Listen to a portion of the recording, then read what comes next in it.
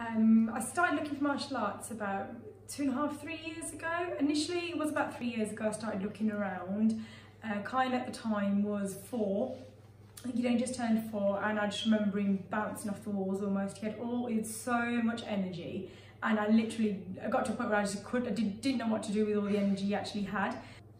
So I looked around for a little while then I rang a few different places and I got to a point where it was like, you know what, actually, I gave it up because I just thought I couldn't find anything that was suitable. And everywhere I rang just seemed really um, a bit too strict and not very child orientated at the time. And being the fact that it was only four at the time and I left it for a little while. And then, can't remember how I came across you guys, but I remember ringing up and actually when I got here and I think it was, it was Mark that I'd spoken to and I got here and it was like well actually you were so friendly and it was just like just come down and see what you think. There was no pressure. I wasn't pressurized to straight away sign him or anything like that. It was just come down and see what you think and then make your decisions after that.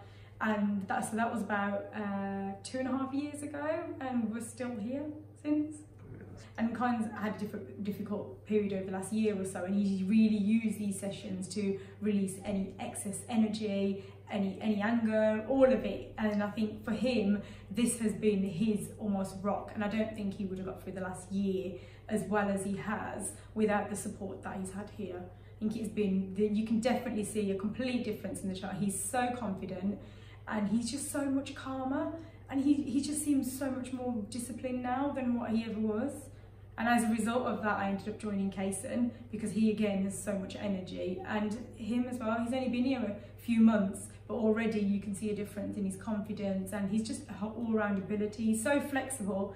The first time I'd seen him do the splits, I was shocked. I never thought my child could be that flexible.